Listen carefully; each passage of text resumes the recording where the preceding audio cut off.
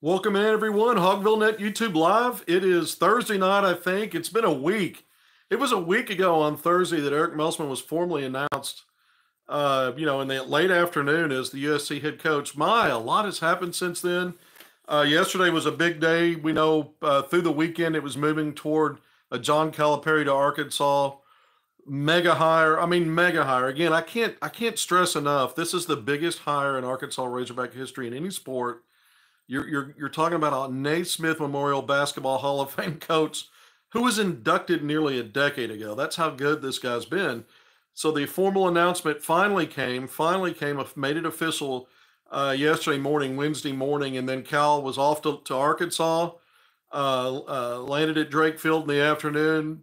Ceremonial introduction uh, when you looked at Bud Walton Arena, you know, six, 7,000 fans in there yesterday. Uh, so he's introduced as his first press conference. It was really cool to be a part of all that, be there in person for that. You know, I'm in Little Rock, so I was in Fayetteville all day yesterday. Got back really late, early hour morning, morning hours actually. Uh, and then I've gotten some articles out today and more I'm working on tonight. And you know, we talked last night. I came on here before I left Fayetteville to come back to Little Rock, and we talked a little bit about the press conference, some of the stuff, the interaction with former players um, you know, dignitaries, including John Tyson, uh, whose standing ovation that he got was incredible. I mean, absolutely incredible. You know, he turned to the crowd, uh, you know, took his hat off and, you know, kind of basically acknowledged everybody and he continued to get an ovation, sat down, he was still getting an ovation. And so the two biggest ovations obviously were John Calipari and then John Tyson, but it was really you know, you hear the word surreal. This is one of the that was one of those moments, and so we did. We talked for about thirty minutes last night when it, you know the dust kind of settled and things were calming down, and they were breaking everything down uh, from where they'd set the podium up and the stage up on Bud Walton Arena on the floor. And so I was coming to you live from there. We spent about 30 minutes going over some of that. And I'm just going to hit on that a little bit and just briefly tonight before we start really start jumping into what matters most right now, which is recruiting, which is John Calipari's forte, by the way. It's what he's he's the best to ever do it, man. The best to ever do it. I keep saying that. And so when you're when you're talking about an unprecedented time of no scholarship players that he inherits, um, he's the guy that can get that turnaround. Not just get warm bodies with pulses, but we're talking about quality. And we're going to get through some stuff that's kind of shaken out a little bit today, just in terms of some names that have that are new and popped on the radar. So not wasting a whole lot of time for him. But before we do that, I just kind of want to hit some of the high points again uh, from the press conference because I thought some of the things that really stood out to me, I was really paying attention to. Is this a guy where I can read any chance of reading body language or facial expressions? I wrote an article today about the things that stood out to me most on hogville.net, things that stood out to me most about his answers and some things he talked about. But I was, I sat right in front of him. I mean, directly in front of him in the media room. I was on the front row there and, and really got a good look at him and how he handled things. And I'm telling you, I've always had this this idea about this guy from watching him with press and different situations. He's been a lightning rod for a lot of different things in college basketball over the years, going back to the 90s. And he's always uh, just calm. He's a calm customer uh, and, and very deliberative and thoughtful in his messaging, but it, it comes off with swagger, but not arrogance. Sometimes with arrogance when he when he's wanting to go and go there with it. Um, but he's a guy that didn't, to me, didn't break tempo yesterday. Was just on point. I mentioned that last night. I, I thought it was important to say it again because part of what I'm looking for is a guy that's maybe got one foot still and his part of his heart left back in Kentucky. At least he acknowledged the fact that it wasn't easy to leave and he wasn't looking but a great opportunity, a better opportunity for him right now presented itself. Going back to John Tyson, Hunter Yurachek, it's a it's on his watch, man. You've got to give him two thumbs up, and you know, uh, you, you know the the Razorback Medal of Freedom someday when he's, you know, when they're honoring him. I mean, this is a hire to end all hires. Uh, thank you, Kevin. You're the man. Well, I appreciate that. I'm reading a few comments coming up now. You guys know I'm slow at that. Uh, so you know, just kind of thinking about a guy that, you know, really to me convinced me that this is where he wants to be. Now, you know, th- this is a press conference. Again, this guy is polished. There, there's no, there are no curveballs anybody can throw at him, and he really didn't get any. This is a love fest kind of thing, but he did have some que- You know, he was asked some questions about what brought him here. You know, what, you know, what, how you know what is his level of confidence and, and his opportunities here. First thing I asked him was, "Can you do you see this as another your, your four? It's his fourth destination, by the way. UMass, Memphis, Kentucky, the last 15 years, 90s, 2000s, and then the last two, 15 years at Kentucky. Uh, and he took every program he's been to to a Final Four. I said, "What is it about Arkansas? Because we know what you bring to the table. What is it about Arkansas that you see that gives you a pathway to doing it again, making it four schools to go to Final Fours?" And he hasn't been there a while at Kentucky, and he was very and he forthright. Five minutes he spent on it. He talked about it's not just about the coach, but it's about administrations and their seriousness about winning. What he's talking about there is the is just the power play to get him putting enough money on the table not only to secure him, but to also he's talking about NIL there. Now Hunter Yurachek brought up that that he didn't want people to take for granted that Arkansas had enough NIL money. He wants everybody on board. Well, that's what his job is to do. He's supposed to push for that. And the best time, one of the best times you could do that is is when you brought a, a Hall of Fame coach in and said, "Look who we just added here. Look who we just hired." We're we're not playing around at Arkansas. This is serious stuff get on board. So it's a perfect time to send that messaging.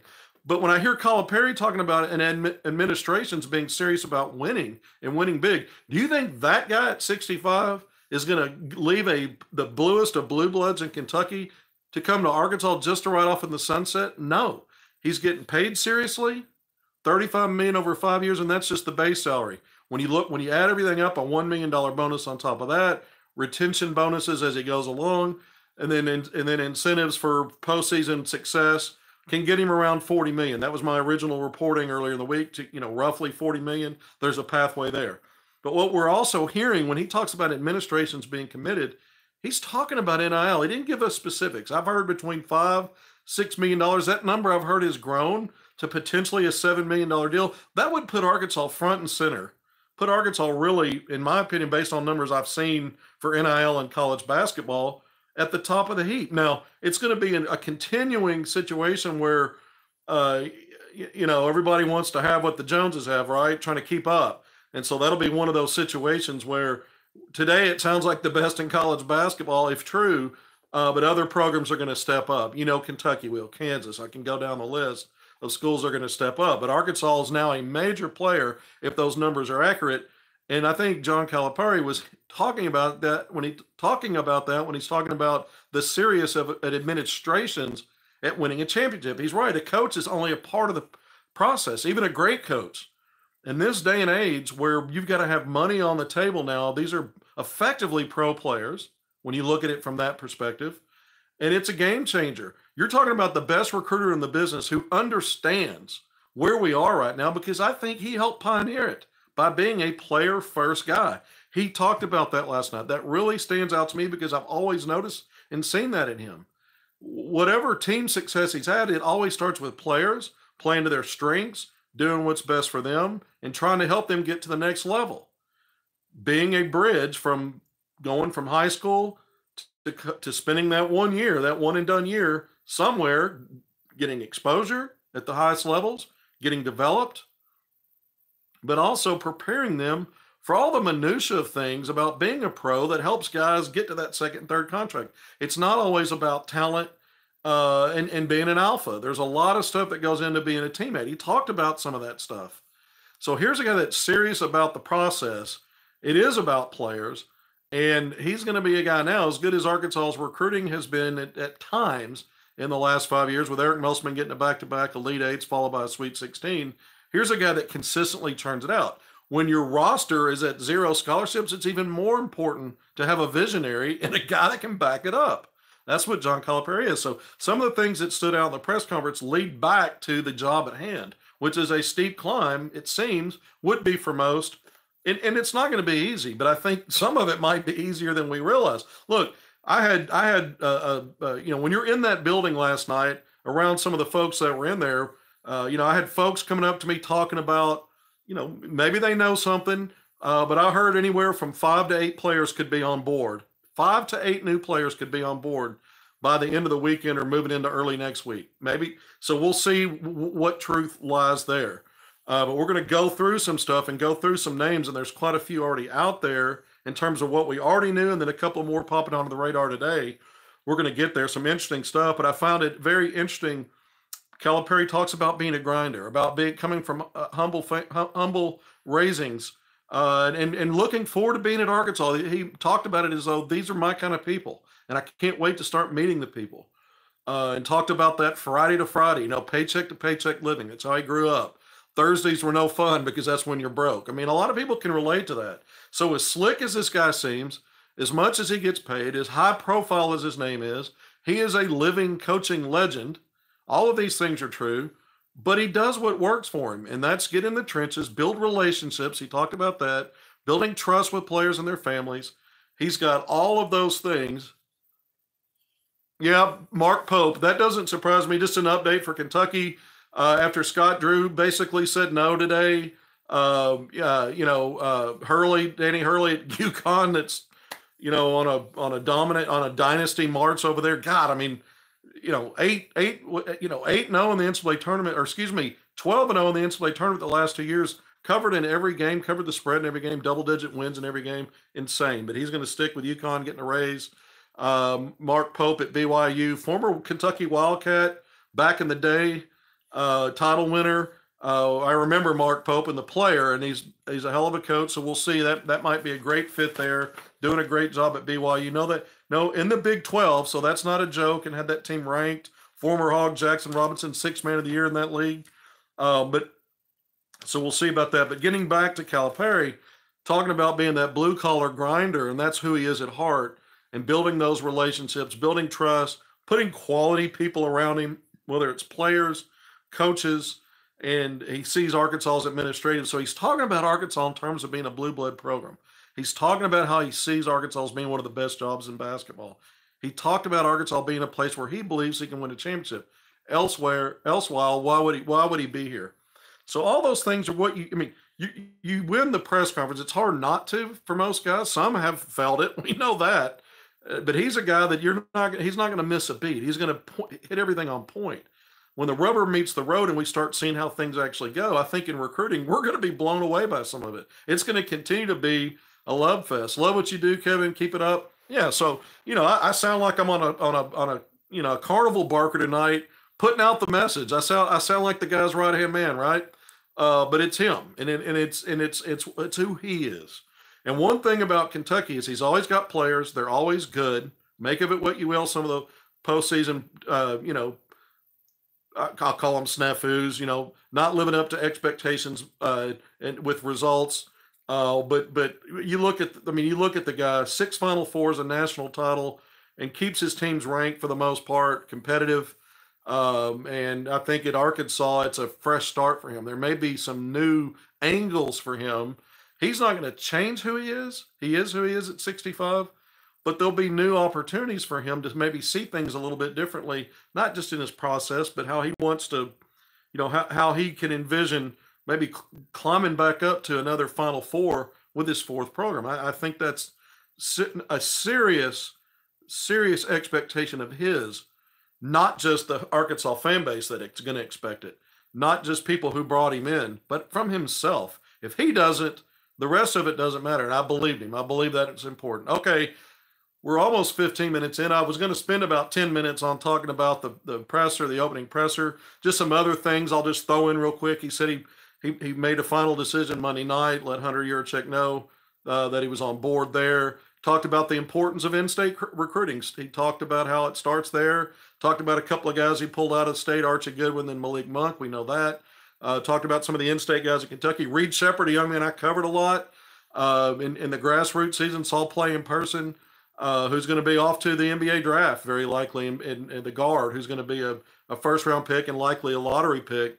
Very talented, multi, very multiple dimensional as, as a lead and combo guard, can facilitate. I thought he really hurt Arkansas in both games because of his ability not only to shoot threes and find ways to score, uh, but he was really loud in the way that he used his dribble drives to get to spots, pull defenders for help, and then find guys on time, on target as a facilitator and facilitating good flow and, move, ball movement. Great offense, elite offense for Kentucky this year. He was a big part of it. I understand why, uh, but he's a Kentucky guy. And he talked about you know, zeroing in on the guys that can play in state. And Arkansas had plenty of those over the years. They have them now. I could go down the list. I could go down the recent list all the way back to the triplets. We're going to talk about some of the names tonight uh, moving forward. And so this is going to be fun. We're going to spend most of our time now that I'm 15 minutes in jumping to recruiting. Now, I've recently talked about uh, the next step for Razorback basketball. It's a good comment.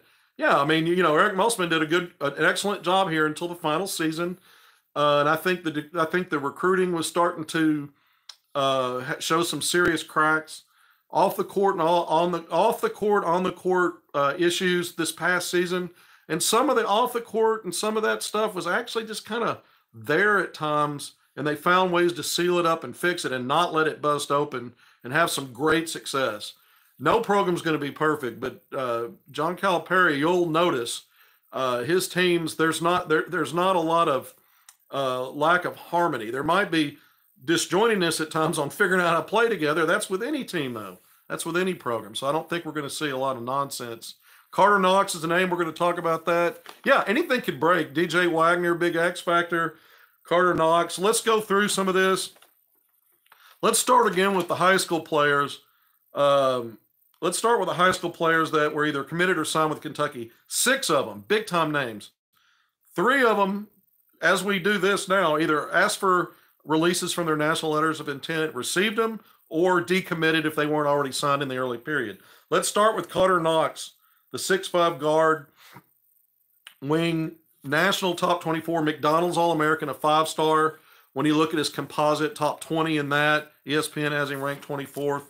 Um, but, you know, here's, here's an explosive player, a wing, and he's already updated his IG, his Instagram account uh, with Chicken Man. Well, we know John Tyson's the Chicken Man. I'm assuming that might have something to do with that. I don't know that. Uh, but here's a guy that is thought to be one of the players that'll follow Cal to Arkansas. So keep an eye on that. Keep an eye on that. By the way, the recruiting dip here, Liam McNeely, we're going to talk about him. Um, uh, we're going to get to that, but but Karter Knox is one of those players who on Monday already decommitted, uh, and so we know that he's a guy that we could see come off the board. It's a five star player, one of the one of the three five stars that were McDonald's All American in this class. And let's not forget when when Calipari left Memphis back in 2009 uh, to head off to Kentucky, he had three committed players: Demarcus Boogie Cousins, you know that name, big time college player, big time NBA player. John Wall, another NBA All Pro, another big time college player, uh, and Eric Bledsoe so all those guys were were going to Memphis with him. He got he leaves for Kentucky, and those guys followed him at Kentucky and helped him build that national championship team.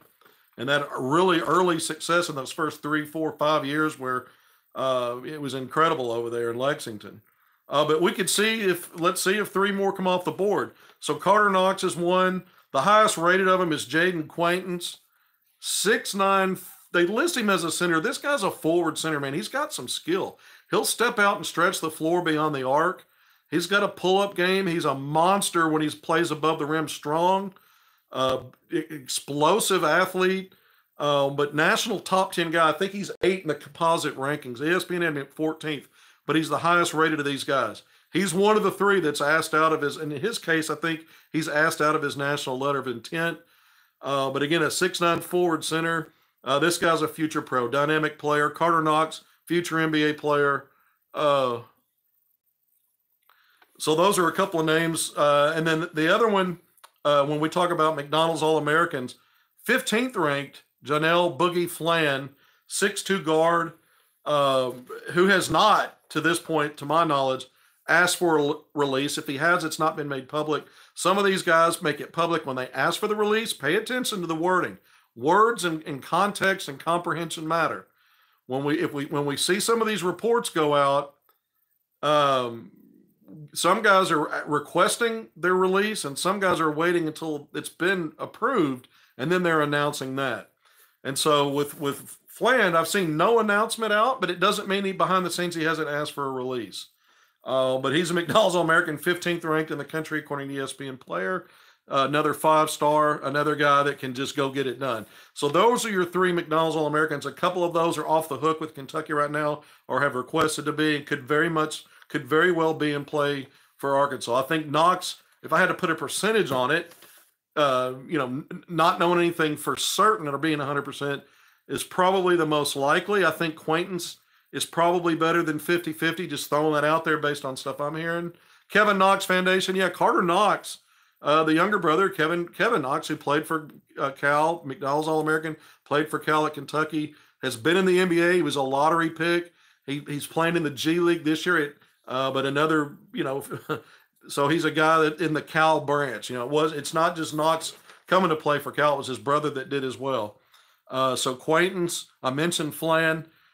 Um, today, number uh, ESPN has this guy ranked 46 nationally in the composite. He's number 41, so a high level four star. Somto Somto Cyril, 6'10 center uh, for with overtime elite. So we know that that's that program that's a go between from high school to uh, sometimes straight to the G League. Uh, we've seen Bryson Warren from Little Rock do that.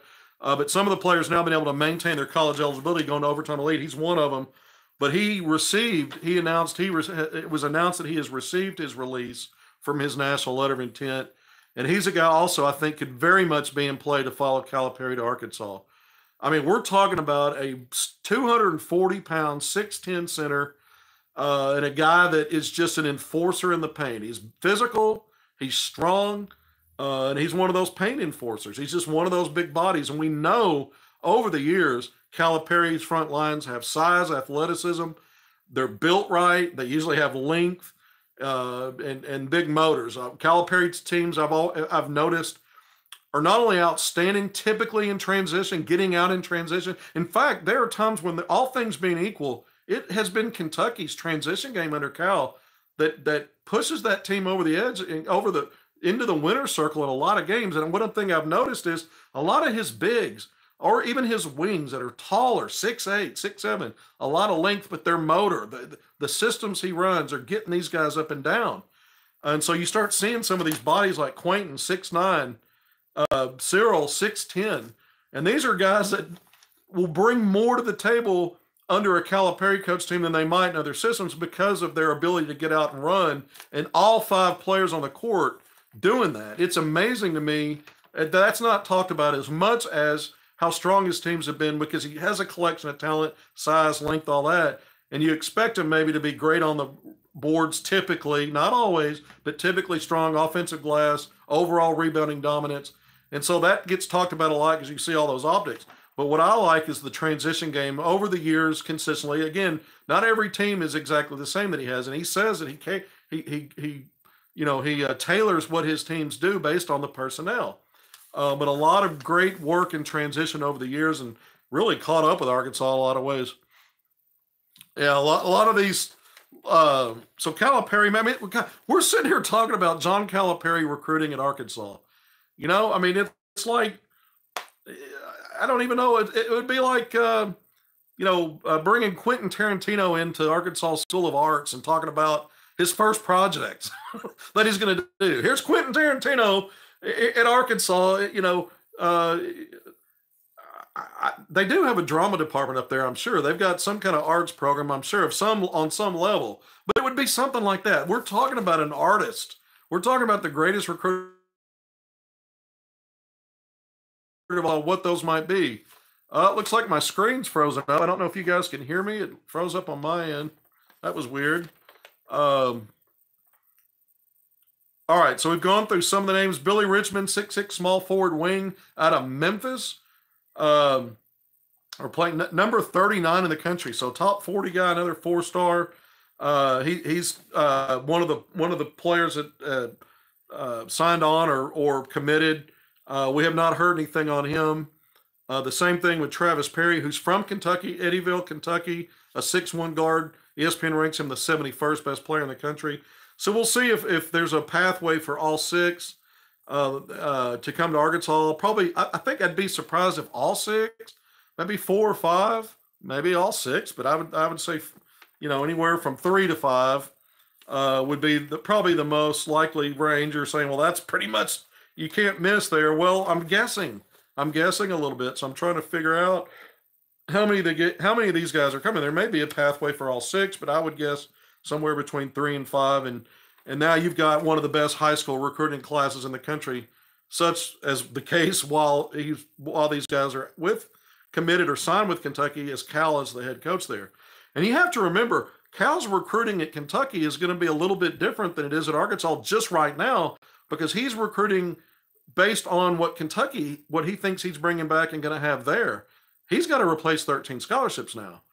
Six players out of the high school class that he had, if he got all of them, that'd be almost half of it. That'd be half your deal there. So I'm not g- going to go there and predict that many. Again, I think it'd be somewhere between three and five. Gives you a range there, but I think it's more than two. Uh, and you've got three McDonald's All Americans in there, and you've got five guys ranked in the national uh, top 50. That's big time. That's a huge. I mean, you're basically got an argument for the best co- class in college basketball because you hired John Calipari away from Kentucky, and you start splashing again. I was told, uh, you know, at, at the at the ceremony by you know a couple of different folks coming around and, and chatting with me, getting in my ear, making a point to talk to me, telling me anywhere from five to eight players could be off the board in the next few days. We'll see what happens. We'll see if it takes any longer than that. Calipari was asked about his staff. He hasn't talked about it. I was told he could bring as many as six staffers with him. That he they that that might be in play. That that a source told me that as many as six. What does that mean? You can have five assistants. Three can travel. You've got other guys that are important. Your your director of basketball operations. Some other folks behind the scenes.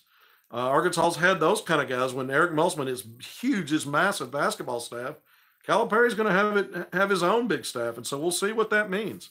We haven't heard a lot there, there yet, but I've got some intel on a couple of things which I find interesting because there's folks working. There's folks working. Kenny Payne to the staff is something that's being talked about. Someone asked me that. Uh, would be, I think, a great addition to this staff uh, coming along with Calipari, if true. Uh, we'll see. We'll see where that goes. Um, Orlando Antigua, who's been with been with with uh, Calipari for a while, a strong recruiter. Uh, one of the staff members has already been informed about Tucker Anderson, the 6'9, 6'8, 6'9 wing from Bentonville West, who was the freshman of the year in the Atlantic Sun Conference at UCA this past season, led that team in scoring. Big time shooter from threes, got some craft. Um, so there's already been some inf- some information passed along about him to someone that potentially could be on Calipari staff. We don't have any announcements on that. I, I likely think this will be a person that'll be on the staff. Uh, there's conversations being had. So I just gave you a little nugget. I haven't seen that put out. I haven't tweeted that out anywhere, but Tucker Anderson is now on the radar. We'll see where if it goes anywhere. We'll see if that becomes a thing or not. Uh, but it's but it's his name's been floated to to a potential staff member for for John Calipari. All right, so we're you know, and we know the previous staff, by the way, had several coaches that reach out to Tucker Anderson, um, uh, you know, about the possibility of, of being on board with, with Arkansas and the previous staff. So I've thrown that in there. Uh, and I had an article out, by the way, guys. I've had an article out for a couple of days. I enhanced it this afternoon with some new information. I need to add some more to it when we get off of here. Uh, but I've been talking about the very six players that we talked about in the high school class. The article includes these two players and has included these two players for the last couple of days Aaron Bradshaw and Adou Thiero, both Kentucky Wildcats last year, who are in the portal. Bradshaw, the highly rated guy coming out of high school, one of those five star guys, 7 1 sophomore to be out of New Jersey. Three, se- three seasons left, 4.9 points, 3.3 rebounds, and only 13.8 minutes per game. Shot over 57% from the field, but only 57% from the free throw line. And, you know, he took 14 threes this year, made four of them. So a seven foot one guy that can stretch a little bit probably not as, as, as effective shooting out that far from, but he can face up and knock down some shots. And he knocked down some mid range shots. I remember in that second game against Arkansas, that track meet, what was it, 111 and 102? Kentucky won a close game on the CBS national television, but he had 15 points, five rebounds, and an assist in that game. Uh, so he had a good game in that second meeting. Uh, Kevin, curious and interesting Calipari crop picture selection for your main live chat clearly you chose it to be I mean, it was just one of the photos I have from some of the graphics that were put out. I don't, I don't, I don't know what's interesting about the picture. Tell me, you have to. Yeah, we talked about Karter Knox, Payne, and Ronnie Brewer. Ronnie Brewer Jr. someone that you know that I've put a tweet out. I think it was yesterday. Would be a great addition for any staff. any college staff, any high major staff, and hope hope I hope he has a pathway here. I'm told that nothing's been decided on that either way. That was a bit earlier. Something could have developed since I last had that conversation, so we'll see. There's another nugget for you. Uh, so we'll see. And anything could be announced or happen tonight, I guess. I mean, we're after nine o'clock. I came on late for a reason, so I might, so it'd be less of a chance that I'd miss something. Uh, so we've gone through the high school names. Aaron Bradshaw, one of the two players for Kentucky that I'm aware of right now, who's in the portal. I went through his stats. We'll see if he's a, a guy that's a viable option to bring on board. Adou Thiero, who I've always liked in his two years at Kentucky. Man, this guy's super long at six eight. He's a wing. Still has two seasons left. 7.2 points per game, five rebounds, 1.1 assists, 49% field goal shooter, 31.8% from three. That's that's fine. And 80% free throw shooter. It's a very good player. His he's a disruptive guy. I noticed he really gave Arkansas problems using that length in his activity. He's an active guy. And to me, he does things that help you win plays and win basketball games. That's always a key. So both of these guys, Bradshaw, more of a guy in development, more of a, you know, you know, you see me on hogville.net put article un, under construction all the time, getting ready to pop something. Well, he's a player under construction. I think all players are. I mean, Thiero too. Thiero is too to some degree but he's a little bit more known quantity based on what I've seen in terms of what he brings to the floor and applies it to winning kind of consistently. So he's again, still a young player, only two years in. We forget it sometimes with all of Cal's one and duns. He does develop guys and bring them back, and some of them hang around for a while. Believe it or not, that happens. All right, so we've talked about two in the portal. DJ Wagner's a name I saw pop up here. No announcement on him. The Wagner family has been part of. It's one of those legacies under Cal. His dad played for Cal grandfather, DJ's grandfather, actually played at Louisville. You know, so all those Kentucky ties back in the day when Louisville was, you know, had some great teams. Uh, but DJ Wagner was once upon a time the, the number one player in his class, one of those five star recruits that came in. He had he had a good, you know, average double figures, had good stuff going on at times uh, uh, this past season. Uh, but not a guy right, right, away projected to be where he thought he might be. I guess when you look at the NBA draft and where you'd think a guy that was ranked from one to 10, wherever it was that he landed uh, in that class. And so he's a guy that might look and consider getting in the portal. And would he follow Cal to Arkansas? That's another name to throw out there. I do not, I did not include that in my article, by the way, that I've talked about. I really wanted to focus on uh, the, the high school guys because none of them have ever played at Kentucky. They're not in that program yet signed or committed. So I feel like it's fair game to talk about them. There are players in the portal, and then some Arkansas players in the portal. I'm going to talk about that, but I didn't talk about guys who haven't made a choice yet. Big Z, the seven-two forward center, who was a freshman, Visic I, I, from Croatia. Interesting player, shot blocker, has got some soft skills. He can pass. He's got a little game around the basket. I really love his game. It's seven-two, uh, but he's a guy that's big on Cal, and we'll see if he would be a guy that might decide to jump in the portal again. And I didn't report on these guys in my article because they're not in a portal situation yet. So I left that speculation out for now. But we're talking about it here. So since I talked about DJ Wagner, I thought I thought I'd bring up another name that w- was interesting to me. You know, Dillingham. Reeves is done with his, the score that was a transfer is done with his. He, he's out of eligibility, I believe. But Dillingham, the freshman, star freshman, Reed Sheppard, who I talked about, those guys, uh, Edwards, I think those guys are going in the draft. So you, you've got guys moving on. Uh, Tre Mitchell's done. Uh, so, uh, you know, running through some of this. And in my article, I've had the same four names for the last, you know, when I updated it, but two days ago when I put it out, I've had four names in the portal that are Arkansas players Khalif Battle, Tramon Mark, uh, Devo Davis, and uh, Layden Blocker. So I think those are four names to keep an eye on. I can give you a little, you know, I can give you a little um, insight that it's my takeaway that that um, that blocker is going to be open to whoever the new hire was. You got to think he'd be open to this guy and taking a look at that. Will John Calipari would he have interest in in having those conversations and getting blocker to consider something like that? Um, and so I think blocker could be in play in terms of paying attention and having maybe some interest in a discussion at looking at it. That's just my take on it. Before the dead period, which ended today, a week long dead period, to my knowledge, he had not taken any visits anywhere. He'll be able to do that now. Had not seen any list of names really crop up in great detail. Now, I've had SEC schools calling me, multiple, asking about Caleb Battle, uh, Devo Davis, and and Layden Blocker. They're asking for play reevals, anything I can give them, covering um, at least two of those guys going back to when they were in eighth grade. I always talk about that because it's true. And so I've got a lot of history uh, being around these players and seeing what they're made of. Uh, and I'm, you know, I, Blocker is one of those guys I kept saying really should have been playing more, had a bigger role, and been part of Arkansas's plans, especially uh, when the season was done. And, and we just didn't see that. But again, let's see if he's in play. I think Devo Davis would listen.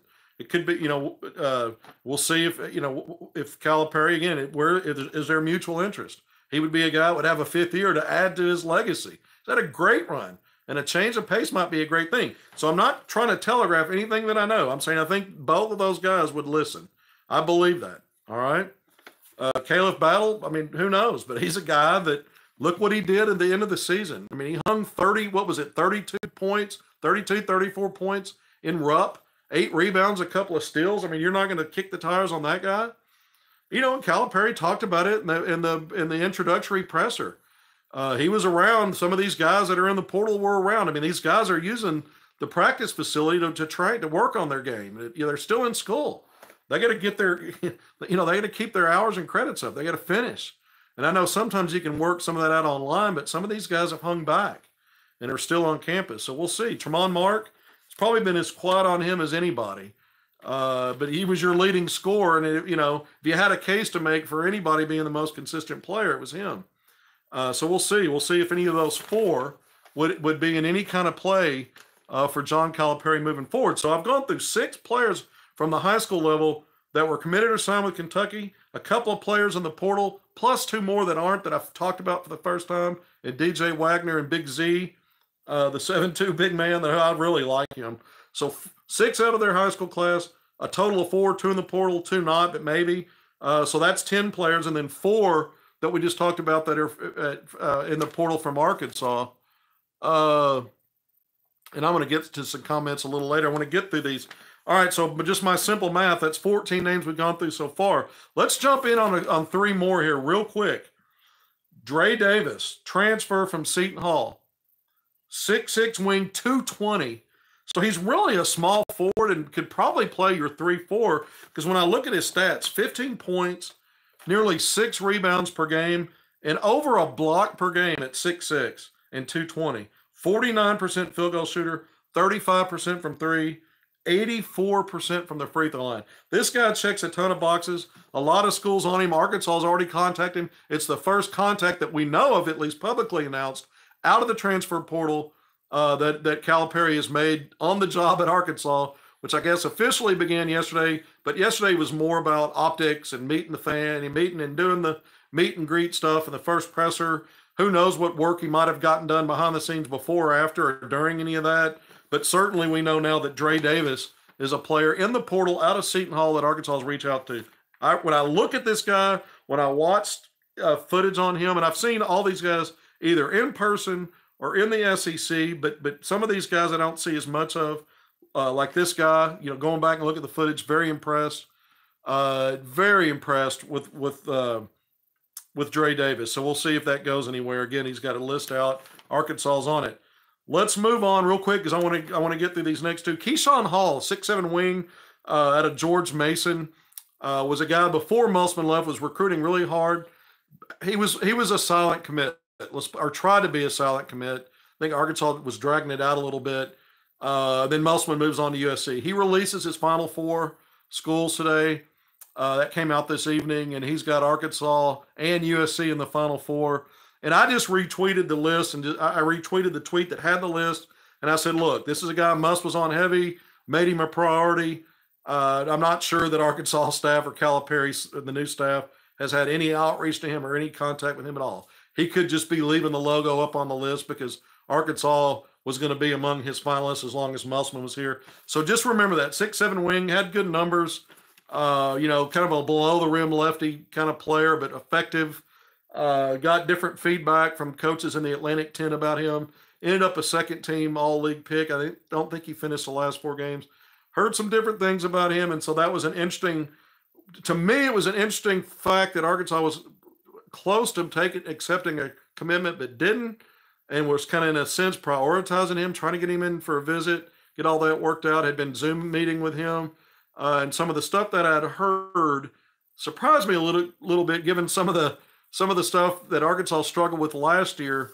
Um, and I'm not going to say anything more than that. And certainly, if Calipari's recruiting this guy, uh, which I, you know, I, I'm skeptical about that. I'm just not sure. So that's why I put that tweet out. And lastly, but not least, it's the most recent item that I saw uh, coming out the last hour or so. Paul Biancardi, the ESPN recruiting guru over there, Liam McNeeley. Remember this guy? Uh, now he's a guy, five star, big time shooter, um, incredible talent. Again, he had committed to Indiana, decommitted.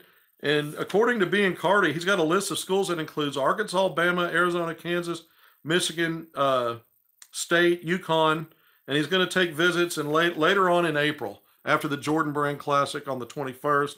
Plans to take visits. Arkansas recruited him under Musselman. I got to see this young man play on the grassroots circuit. Uh, just one of the one of the higher IQ guys you'll see with a great shooting touch, but can do a lot of other things. Put the ball on the deck, and he's got size. What is he? Six seven, six six, six seven. Uh, Liam McNeeley. So keep an eye on him because he may be in the picture. You know, I was never sure about how serious he was about Arkansas, and he would communicate with me. You know, he liked the offer. He talked about Arkansas, but you know that that never got a whole lot of traction with him, and I never felt like Arkansas was in great shape with him. But he talked about visiting and some other things. But Liam McNeeley, man, you're talking about a guy that shoots around 50% from three consistently and, and different high levels of basketball, um, and 50% overall from the field. Fluctuates between 45 to 50% from three, and then 80 plus at the free throw line. And again, he's a guy that can create for others and, and has some craft in his game beyond being a shooter. Uh, like I like his floor IQ. I like the way that he understands the game, plays off the ball, moves to get open. A lot of things I to really like about Liam McNeeley, and of course he's a five star, but he's a guy that's on the board. So when we talk about class of 2024 and the signed class that that Calipari had, he's also now got a five star and he's in play already. So two things: Dre Davis and Liam McNeeley. Apparently, Calipari's making moves already. You would expect that but a lot of options here. So when I added those three names, Keyshawn Hall's not really a name, I don't think, to pay attention to here, although he's still got the Arkansas logo as part of his, uh, you know, as part of his Final Four. I mean, I guess anything's possible. I doubt that. So I'm going to subtract that as a serious thing right now. And talking about these other guys, now we've gone through 16 names total, and you've got 13 scholarships. And, and there's going to be more names come out. I mean, we're just getting started here. Uh, some of this stuff was laid out there for us by what was available. Again, uh, guys that aren't decommitted or, or ask, you know, asking out of letter of, letters of intent, we really can't count them as anything uh, other than possibilities. But they've never played at Kentucky. They're not on the roster yet. They haven't moved on to campus yet, and I think it's fair game to talk about them. It's typical to see players wiggle out of those things. It's also typical to go, for guys to hang around and see who the new hire is. We don't know. We don't know what they'll do there. Same with Bradshaw and Thiero. They may look, wait a little bit and see who the new hire is. They're in the portal. A lot of these guys love Cal, man, and they and the, players over the years. I mean, forty players from Kentucky gone on to the NBA. My goodness! I mean, Arkansas has had a stretch here of putting guys in the league, and it, it's about a, a, quarter of that. It's just insane how how big time this guy is in recruiting. He's the best to ever do it, man. And here we are. Here we are after the hire, after the splash, after the feel good, and you get to keep feeling good. Now you don't you don't have to sit back and bite your nails and go, well, we got him. Now what? This is what this guy does. Everything he's done has been around. He talked about it, starting with players, building building those those building blocks of prioritizing players and what's best for them. It's why he's attracted five star one and duns that are going to go off to the NBA. And it's not just that simple. I used to be one of those who thought in the past, I'll admit it. I know when I'm wrong. In the past, I used to look at this guy and say, you know what? It's a myth that he he helps guys get the NBA because anybody that could just rake in the top level five stars would have the same results. That is not true. The more I've been around guys that came through Arkansas or now in the NBA, the more I watch their processes, talk to their families, the more over time I've matured in my understanding it takes a lot. It takes like it's only 450 jobs in the NBA. It takes a lot more than your talent and your measurables and some other things. Uh, unless you're a superstar, it takes a lot more to be a pro because there's a lot of great players out there and a lot of options, and so you have to do other stuff. And I think Calipari's farm system, I called it that, takes it, it takes all those angles and he teaches them how to be pros. And, and, and they get drafted really high, and there's a lot of respect for his process by the folks in the NBA that make make those decisions. And so it has he has helped players be successful getting to those those other levels. And so the old talking point is not exactly right. There might be a little truth to it, but there's a lot more to it. And I'm not just saying that now because he's Arkansas's coach. It's stuff that I really came around to in these last few years. You know, I know some folks that have had have worked with him going back to his Memphis days, dealing with players and some other things uh, that that they say that, you know they basically lay it down and say this is one of the best coaches to ever do anything on the college level because of the understanding how every player wants to get to the next level. And it always starts there with him. And so I've come to respect that even before this hire. Now I get to talk about it because he's the Arkansas Razorbacks head coach.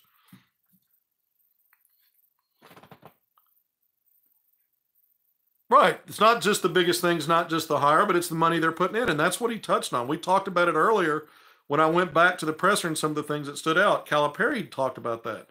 It's the it's it's the leadership behind the hire and and helping make the hire and everything that's going to go with it. He's got to get NIL help, and I think it's going to be that, that five to seven million dollar figure per year is insane. That, I mean, that puts Arkansas. I mean, uh, you know, he sees Arkansas as a blue blood program. Those are blue blood dollars. It's basically saying, yeah, we're a blue blood because we say we are. If you go into it with expectations that we're going to be among the best, it's the only chance you have of backing that up and making it happen. And that's what he's talking about. And he's exactly right. And he's a guy that's done it throughout his career. It's not like he got to Kentucky and things started to happen. I mean, he, he put UMass on the map. He took Arkansas behind the woodshed coming off a national championship, and a year later in the Sweet 16 on his way to his first Final Four. He's a guy that was controversial. He's been a lightning rod uh, in a lot of different ways with other coaches, some of the stuff that's happened along the way. But his excellence and how great he's been at every stop is it's undeniable. It is absolutely undeniable, and it's why he's going to have success at Arkansas. I just I believe that, um, and I believe even more based on trying to read him yesterday. The rubber's gonna is, is a in the road already. We've already gone through some of the stuff that's in play. I love talking about recruiting. It's my forte. Anybody that covers basketball in Arkansas, in my opinion, if you're doing it right, you're doing everything you can to get out and see the in-state kids because Arkansas is one of the best in the country at having a pipeline of guys that can actually help your program not just be good, but maybe elite. And it's again, I go back to the late 70s. It hasn't been great every year for, you know, going back to the triplets coming all three from from Arkansas. Uh, but it's, I mean, the names just keep coming at you. And Arkansas's best teams, for the most part, their best teams have been led by Arkansas guys. Calipari's going to be able to recruit from everywhere. But if they can play and they're in this state, he said it last night, it starts there. And so I think if you're covering basketball in Arkansas, understand what's in your backyard. The more you do to understand what's in your backyard, you're going to see what's in your backyard competing against some of the best players in the country. And that's how you learn about those guys. That's how you put eyes on those guys. That's how your perspective grows. And so I didn't mean to get on soapbox and sound preachy, but there's a there's a reason why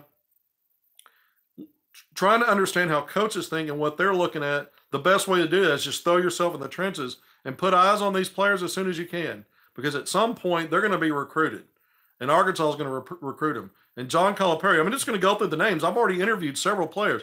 A couple of nights ago, um, class of 2025 in-state, top 40 player in the country. I think he's going to move up in the rankings. Had an outstanding USA basketball junior national mini camp in Phoenix during Final Four weekend. Um, you know, when we talk Terrion Burgess, six nine combo forward, I, have been talking so much about how Calipari loves those big combo guys that have length and height and athleticism. Burgess brings all of that. Excellent basketball player. 38th ranked in the country right now, four star. He might end up moving up, uh, but he was back in town just for a couple of days before going back on the road with the Arkansas Hawks 1700 program. On the road today, bus ride. They probably just arrived uh, in Omaha, Nebraska for the first session for Adidas 3SSB. It's different this year than it's been in recent years. Usually there's two live eval periods in April. No more of that this time around. The, there'll be only one live eval, eval period in the spring, and that'll be in, in May. And so coaches won't be there. I wish I could have gone because, uh, you know, the coaches won't be out, but I like to hit as much of these as I can. I wasn't able to go this weekend with the Hawks, uh, but he's going to be competing there. So I got to go to a practice earlier in the week after he got back from Phoenix, but also uh, before getting back on the road and going to Omaha. Got a few clips of just some shell work and drill work, but I interviewed him. And he can't, he's excited about the Calipari hire. He cannot wait to build the relationship and hear from Coach Cal. Class of 2025, the next cycle. He's a guy that could be in the in the recruiting crosshairs of, of John Calipari. Jacob Lanier, class of 2026, also had an outstanding showing uh, this past weekend at the same event, Team USA Junior uh, USA Basketball Junior National Mini Camp. Uh, both pl- both players, when you looked at you know, ESPN's draft guru, Givony, talking about both guys, listing him daily standouts, other well known names that cover recruiting, Pro Insight, some of the other ones. These guys' names, of constant drumbeat for several days of the weekend as top performers. Six six guard, I think he should already be a five star. He's been rated in the top 30. Jacob Lanier, six six guard out of Maumelle, I think he should already be, be, be somewhere around five star status. I mean, silky smooth, can can shoot the ball, has facilitator quality, so he can play the one, uh, and he's getting stronger. He's got great length. I mean, he's just he's a smooth operator, man. He's a guy that I think Arkansas is going to take a hard look at. J.J. Andrews already a five star in that class of 2026 here at Little Rock Christian Academy. I mean, coaches beat the doors down to get here. Eric Musselman slowed up on it. I'm not going to go back and knock on this guy, but he really did, man.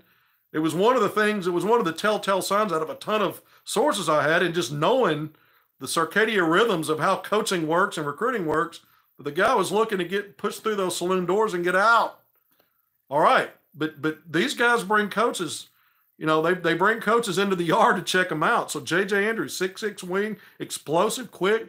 Talked about Terrion Burgess, long strider. Uh, his three level craft is just getting better and better. More consistent three point shooter. Nice pull up game. I love his reads and two man game and understanding of when what where too much is too much and getting off the ball, playing off the ball, passing to guys because he gets a lot of attention. You see guys develop and get better and better. And so Arkansas always has high levels of talent. They're going to help some high major. Why not Arkansas? So Calipari, as great as he is, and casting a wide net, he's going to get what he wants. If it's an Arkansas kid, it'll be an Arkansas kid. If it's not, it's not. But there are going to be plenty of options for him and some serious options. You know, I left out Isaiah Sealy, top 50 in that 2025 class, 6'5, 6'6 guard up at Springdale, big time player. Courtney, Courtney we'll see how serious Arkansas is about him. Some high majors have stepped up. Another guy in Northwest Arkansas at Springdale Har-Ber used to be teammates with Sealy. Aiden Cronister, six-seven wing at Rogers, has a lot of high major schools looking at him. Arkansas, under the previous staff, put an offer on him. He's got to get stronger and continue development. But another guy with a pot with some possibilities. So on these, that's class of 2026, and he's been rated by two four seven sports in the top 30. So you got a lot of guys in the state. You know, I'm going through some of the names, six names right there between 25 and 26, and there's more. There will be more, and it'll continue beyond those just those classes. But those are the ones that are up and coming. It'll be on the radar soon. And so these are, you know, it's it's exciting times at Arkansas because you've got the best recruiter ever, and you've got a state that's that's rich with talent and and sometimes coaches get it, sometimes they don't. There is a bit of a double-edged sword with some of it. Uh, we know in the last couple of recruiting cycles, Musselman brought in-state guys in, didn't really use them, didn't play them, ran them off, ran them into the portal, whatever. But guys like Isaiah Joe, who was already on the team, but got a lot out of him in his one year there in the opening season when he wasn't hurt. Big time player, went on to the NBA. Moses Moody, the program's first ever one and done, a lottery pick, best player, arguably the best player in the SEC helped fuel that Elite Eight run into the first one under Musselman. Jaylin Williams, same story there in terms of Elite Eights, back to back, another you know high second round draft pick.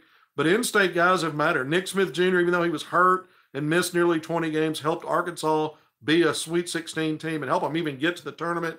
Invaluable uh, contributions from him. A lot of fans don't want to acknowledge that. It's absolutely true uh, and was and was the top player coming out of the country when he came out of high school. So Arkansas kids matter; they always have, and we'll see. You know, going back to Eddie Sutton with the triplets, going back to Nolan Richardson with Corliss Williamson and and several others. I mean, you know, Mike Anderson, his best teams, Bobby Portis, player of the year in the SEC in a year where Kentucky went undefeated, didn't lose until losing to Wisconsin in the Final Four. What was what, what were the Wildcats? 38 and 0. Just marched to the SEC, had five or six NBA first round draft picks on that team. I don't remember. I may be exaggerating. I don't think so. But Bobby Portis was the SEC Player of the Year, second team All American. Little Rock, Daniel Gafford from El Dorado, big time NBA player, having his best season in year five with the Mavs. I mean, it's insane the level of players coming through here. Ronnie Brewer Jr., his dad was a triplet. Stan Heath, after Ar- helped the, the, first time Arkansas finally crawled out of the mud and got to an NCAA tournament, Ronnie Brewer Jr. was the best player on that team. Sonny Weems, recruited by Heath, Pelphrey's first year, he took Heath's players and got to the NCAA tournament. Sonny Weems from West Memphis was the best player on that team. I mean, you can't find an era of Arkansas basketball where the Mo- Joe Johnson, I left his name out at the end of the Nolan era. My God, that guy's going to be a Hall, a Naismith Hall of Famer. Sidney Moncrief, one of the triplets here, for, both he and Joe Johnson from Little Rock, Moncrief from Little Rock Hall, Joe Johnson from Little Rock Central. Those are your, you know, Moncrief already in the Naismith Hall of Fame. Joe Johnson, I think, will get there. Uh, but those were also Arkansas. So there's not an era of Arkansas basketball where the studs didn't come from this state. There's no reason why that shouldn't continue, even though Cal's a guy that can pull them from anywhere. If they're worthy, he's going to get them. And it's always been good for Arkansas. Don't ever, ever sleep on that. Not ever. And no coach should. No coach is above taking a hard look at that and, and then deciding what's best and how to move forward with it. We're almost an hour in. I get a little bit passionate when I talk about the in-state guys, and it's because I grew up in this state. This is my home. Grew up in the 501. I'm a Little Rock guy. I lived in Northwest Arkansas for, for about eight years. Not that we need to make this all about me, but I know, I know, I'm I'm entrenched with with with the amateur, the, you know, really starting from a young age, the culture of basketball, not only in Central Arkansas, other pockets of the state, where where the development, the understanding of how to do it is really, really good, really, really sound. And then the talent. I mean, I, I talk to coaches all over that say, you, you know, if you if you clump together two, sometimes three states and take their best players, Arkansas still has better, more players at that level or better that you're looking at for high majors and other levels of Division One. That's true. It's absolutely true because I pay attention to it and I go out and see these guys in person. I don't just watch what other people are tweet putting out on Twitter and then talking about it. You see a lot of guys talking recruiting, and that's really effectively what they're doing. I'm not trying to be ugly about that, but I, when I talk about it, I like it to come from a place of understanding. And, and my opinions are based on things I've actually accumulated over time. And so uh, this recruiting part of it, you've got the master in the house, and it's got me jacked up, man. I'm excited uh, just talking about it. That's probably uh, carrying over here in this. We're getting close to an hour. I didn't want to go over much more than that. We've gone through a lot of these names. We'll see what comes off the board. Again, I've been told as many as five to eight names maybe in the next few days. I expect we'll start getting some answers on staff. Kenny Payne's name's out there. Ronnie Brewer Jr. I mentioned Orlando Antigua. Antigua. There's other names. I, I, I fully believe Brad Calipari, uh, uh, coach's son, is going to be on that staff. You know that that's obvious. He was there for the presser. You know he's going to be around. Uh, so you know we're going to start filling in some blanks pretty quickly. Thirteen scholarships to go, um, and that's you know you're starting from zero. But really, this is our time, Kevin. Go as long as you want. It is our time. It's late. It's not that not like I have a bedtime. I've got work to do. I'm, I'm actually going to be putting together. I'm going to. I told you I've talked to some of these players. Uh, Jake Lanier, Terrion Burgess, both excited about this. Can't wait to be recruited by Calipari. I'm going to get their quotes in my article. I'm going to talk a little bit about NIL and you know, so we're going to move beyond just what it looks like right now on the roster right now and kind of big picture, bigger picture about in-state recruiting, NIL. Going to use some of the thoughts Calipari shared uh, during that press conference. So I've got another article coming out. Got a battery of articles already out. One of them today I put out were some of the my what the moments and quotes and thoughts Calipari said that stood out the most for me. I, I did an, an, update on recruiting to add the new uh, transfer portal, the first one in there with some of these other names we've talked about. I've got to fine tune that and update that one. So we had that. So we've got a lot of content. Uh, and these YouTube lives, uh, YouTube lives, I love them. Uh, you know, I repeat myself. I talk a lot, uh, but I'd rather get the information out there and beat it to death than leave something on off. And sometimes I forget stuff or I say it a little awkward, but you know, I'm trying to make sure that I cover it. And um, there's nothing I like more than coming on here and sharing with Razorback fans. You know, um, and I had a great working relationship with Eric Musselman. He got had a, had a lot of um, a lot of one on one with him that that most didn't get that most didn't get for years. Um, and and I was appreciative of that. Uh, but at the same time, I'm here to cover Arkansas Razorbacks basketball, and and and I want the fan base to understand where their program is and what might be going on. And it was hard for me to report what I did for weeks and that steady drumbeat. Um, and, and, and when I confronted him with it and had a conversation with him about it, uh, there wasn't great pushback. I've talked about that a lot. There just wasn't. He, he didn't have he had no major issues with the reporting, other than I'm sure he didn't really want it out there, but it wasn't due to not being accurate. And so I, I won't go into everything that was said, but I want to make sure that point's clear because uh, we can now put that fully to bed. I know I brought it back up because we've got a new era now, and it's I mean, Arkansas went from a really good coach. We'll see. He's had great seasons. A really good coach who's had great seasons. Still a small body of work nine years in. Let's see what what Eric Musselman does, what he's able to accomplish out at USC. Uh, he may end up being a great. I don't know the answer to that. I wouldn't categorize categorize it that way right now because I think there there would need to be more to be done there, but it's possible. Arkansas got one of the greatest of all time. Is on the staff a, a, a sitting coach he went out and got, got grabbed within a week's time after losing a really good coach potentially on his way to greatness, and you went out and got one of the greatest of all time. That's not an exaggeration. He's certainly the greatest recruiter ever. He just is. And you, and you can't argue with the resume. And the guy spent time coaching in the NBA as a head coach. He's been an assistant coach in the in the pro game, and he, and he's he's been in a, a, a ton of mega matchups and won his share of them. Uh, I mean, this. So you went from really good to potentially great to one of the greatest and a Hall of Fame coach, and it just just say it over and over again.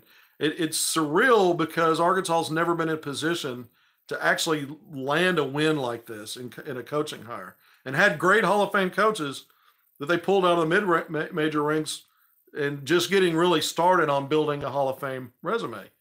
Here's a guy that brings a Hall of Fame resume because it says Hall of Fame on it. So it's real. It's you know, it's not a well, it should be or it could be or it probably will be.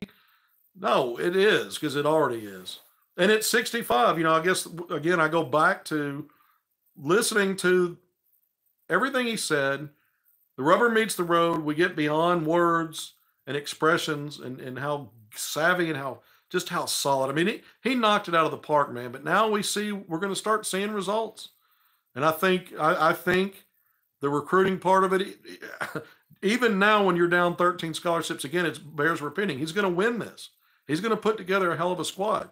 We'll see how long it takes for guys to acclimate and get it going. Here's a guy that's done his thing for years, and when he's made transitions on the college level, you know, eh, you know, early in Memphis. So go back to the Memphis days when he came back from the NBA, when he got out of the NBA after leaving UMass for the NBA.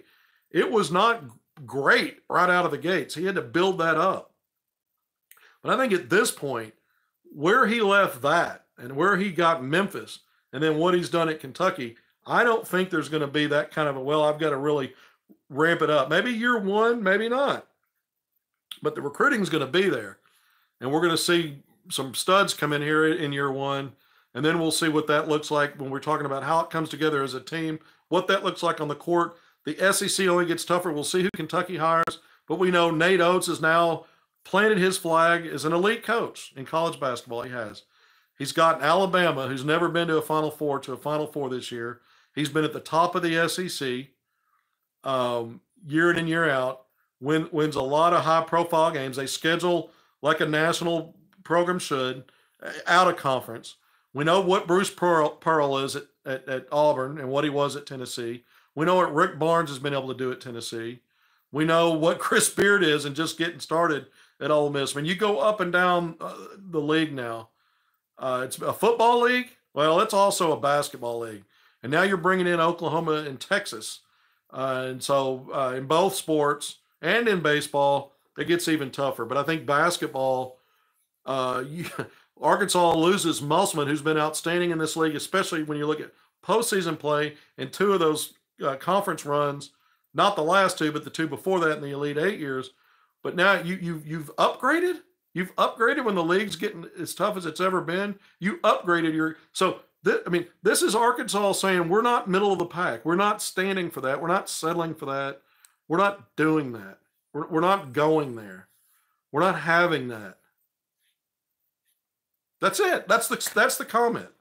That that's the statement that was made these last few days, punctuated yesterday when John Calipari was in Fayetteville at in Bud Walton Arena, the, the palace of, of Mid America.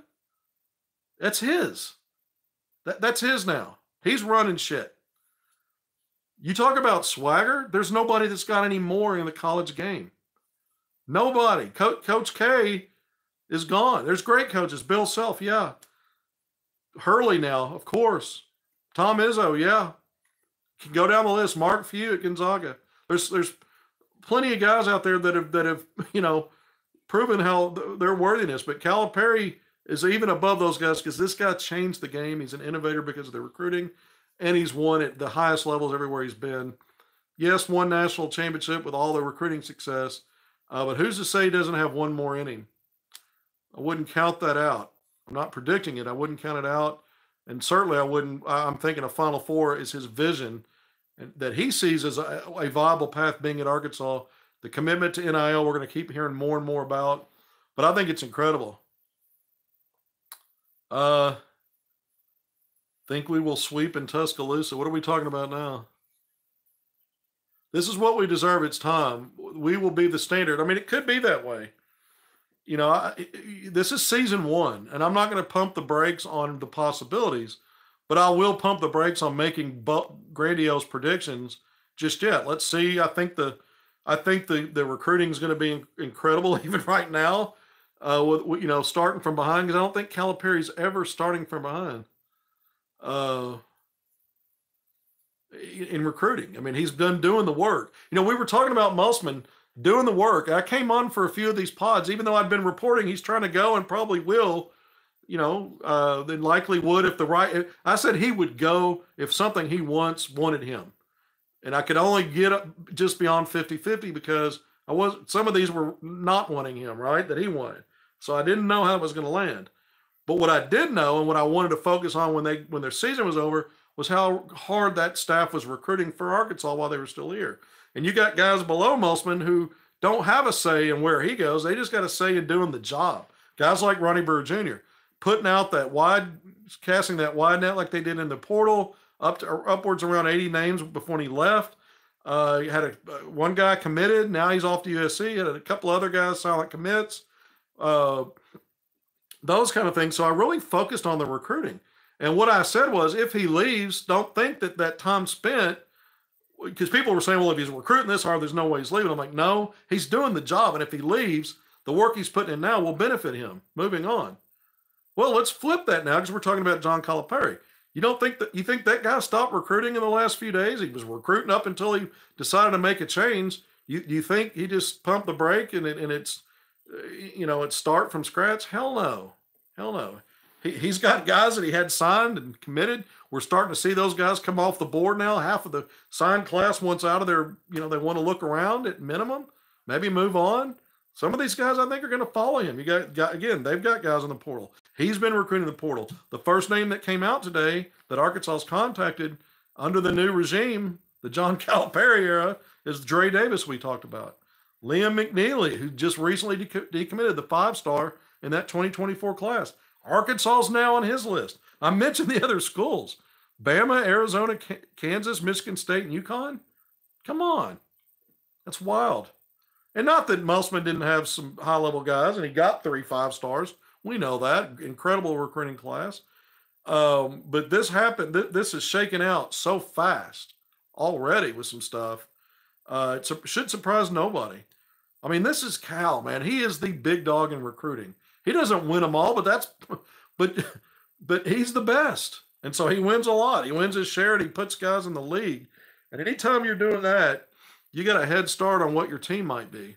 You really do. Because you got to have them. You got to have studs to, to advance and, and have a chance. You do. You, you really do if you're a high major. Uh, What else have we left off the table? I'm getting close to an, an hour and 10 minutes. What is that? Nearly 70 minutes. I'm eight seconds away from that. Uh,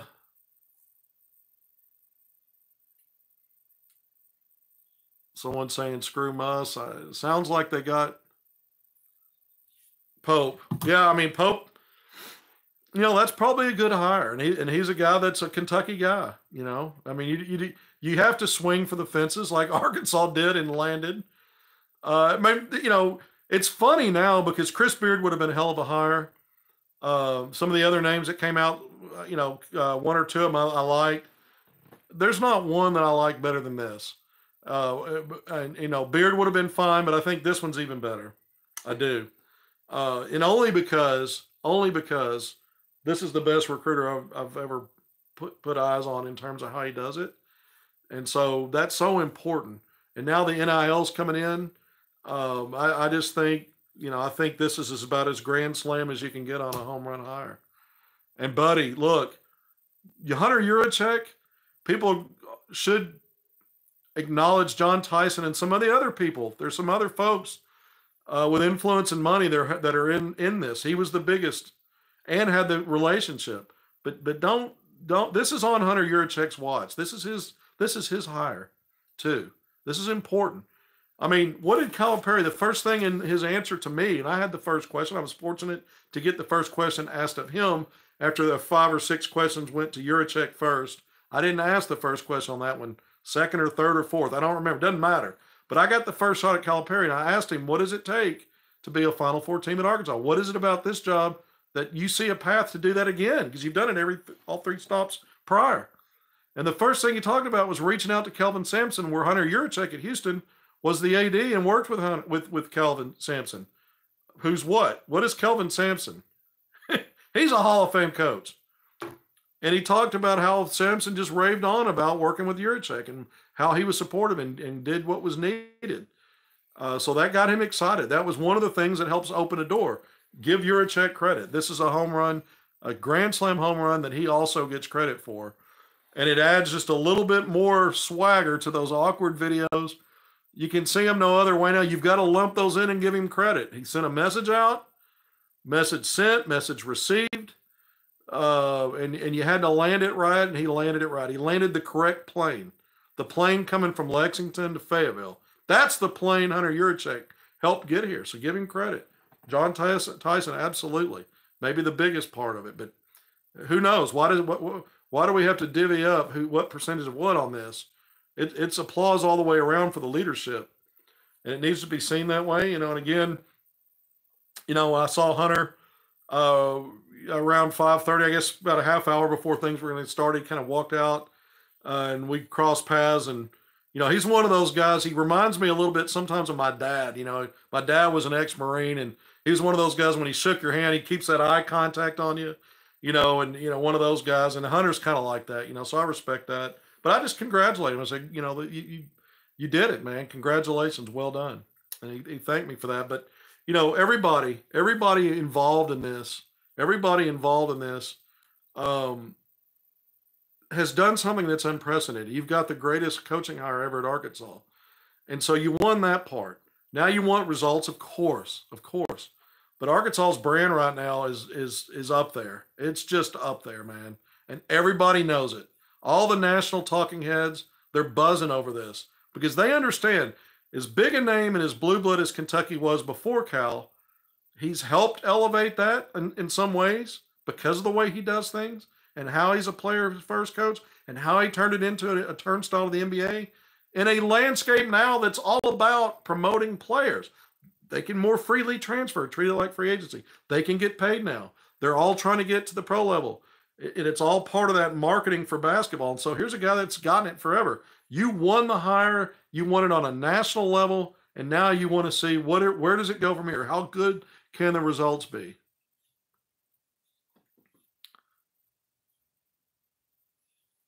What do you guys think? Should I should I get my taxes done tonight too? It's almost 10 o'clock. I've got an article to write, got to get some stuff ready for some maybe stuff that could drop. I'll throw that little teaser out there, maybe even as soon as tomorrow. Who knows? I don't know if it'll be anything it'll be tomorrow, but maybe. And I need to get my taxes done. I need to get that knocked out. I do my own taxes.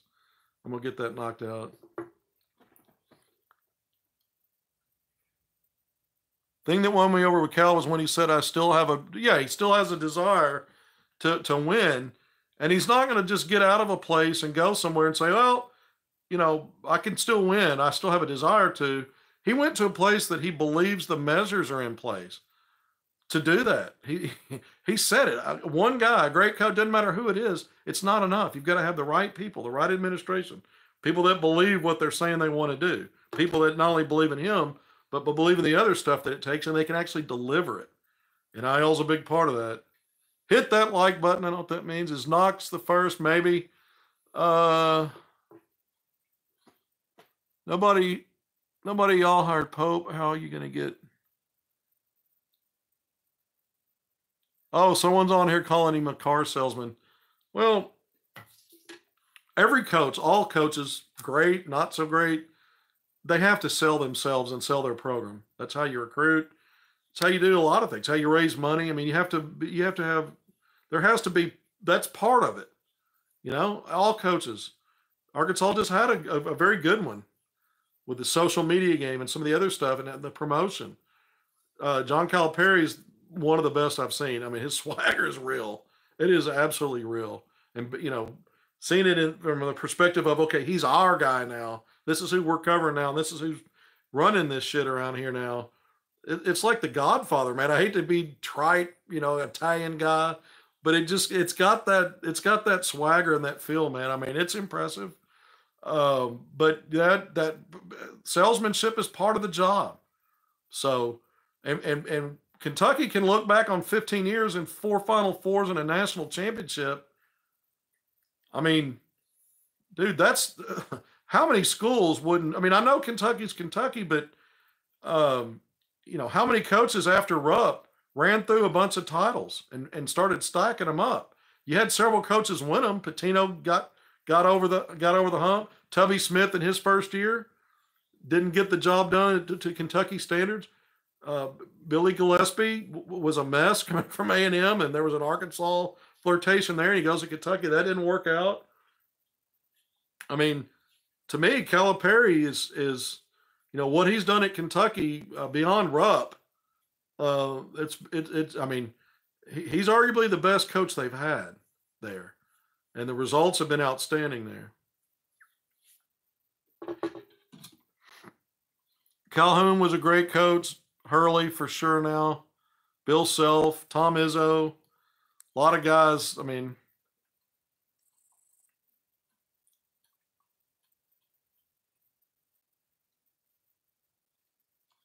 yeah, Tubby's first year. Right, I said it was his first year. He inherited players. That's, there's no doubt about it. That's real. But he still won a national championship. We've seen coaches come in and, and screw up a good deal too. Uh, so he pushed the right buttons and figured out how to succeed with it. So you give him credit for that. It counts. You didn't take it away. Um, and I know Tubby Smith. I've, I've talked with him about players in Arkansas when he's moved on to other coach when he moved on to other coaching opportunities that work Kentucky. Um, and you know he's a guy that that you know like a lot of coaches sometimes being in the right place at the right time you get an opportunity like Kentucky, and then he made the most of it with like you said guys that he, he inherited for the most part. Um, all right, so we're almost an hour and 20 minutes in. I've probably gone way over. Uh, Malik Monk was talked about. Yeah, Cal- Calipari talked about Malik. There's not a shot that he doesn't like. He can justify it because he can get him off. You know, Malik's got elite hops, and he's one of those guys that he's just gotten better and better uh, in the NBA, and he's living up to a guy that was, you know, at one point in high school, a top five, top ten, five star kind of guy. McDonald's All American. Uh, when I when I covered him in high school, he is a guy, a guy that can get off a shot with guys hanging all over him. He, when he gets on a on a streak, man, you know what he had the forty something plus game against North Carolina. I forget how many exactly he scored uh, when he in his one and done year at Kentucky, but he was an electric scorer, especially when he, he's streaky. But when he gets and now as a pro, he's he's more consistent, and he's a six man guy at Sacramento. Has been a playoff team. Uh, and he's he's one of the best six men in the NBA. So Malik Monk's having a hell of a career, uh, and, and starting to back up the promise. Uh, you know, coming out of high school, and certainly the one season at Kentucky. All right, I am going to wrap things. It's an hour and twenty minutes. I really want to keep it an hour Again, I tend to go over, I say these things. Not great at reading the comments, not the best interactive guy on this stuff. Uh, but I want to thank everybody for joining me on Hogville Net YouTube Live. If we, as we went through, really what's been mostly a recruiting update. There's not a lot of traction yet, but we're getting some of the players and names out there. We're really kind of sinking our teeth into some of the possibilities, and there'll be more to come. And we might start seeing names, just just dominoes start to fall, and you hear that sound of momentum in recruiting. Like I said, it could could happen very soon, maybe as soon as tomorrow. But thank you for joining me. Not predicting tomorrow. I'm saying it may be as soon as tomorrow. Don't hold me to it just yet. But want to thank you again for joining me on Hogville Net YouTube Live. Want to thank my sponsor, Jose's Bar and Grill in Town, Doug Allen and the gang. Love them. Until next time, I'll see you then.